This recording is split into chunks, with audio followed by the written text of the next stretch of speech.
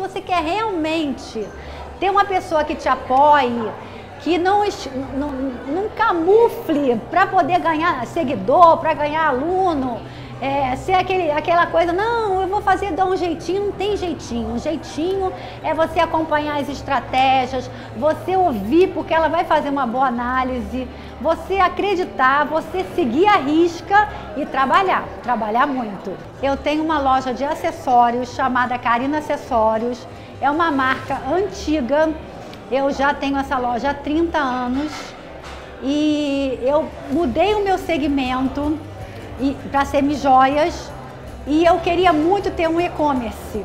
Embora eu já tivesse tentado ter um e-commerce, eu não entendia nada de e-commerce, mas eu penso que a gente tem que ter novos horizontes, que a gente tem que se modernizar.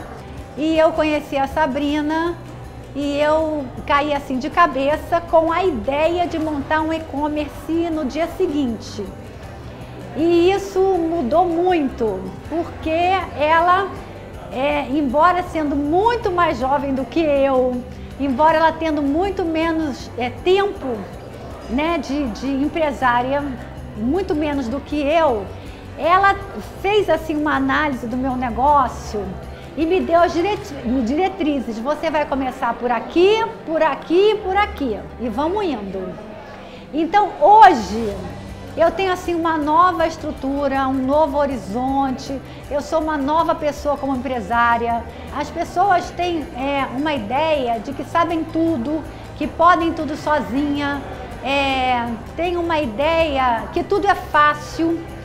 A Sabrina, ela é muito verdadeira. Ela é muito real. Ela não vai dizer para você que isso todo mundo faz, isso é fácil. Ela vai, ela vai te dizer a verdade, o que está faltando em você. Pode ter até um objetivo A, mas você vai atingir um objetivo maior do que aquele.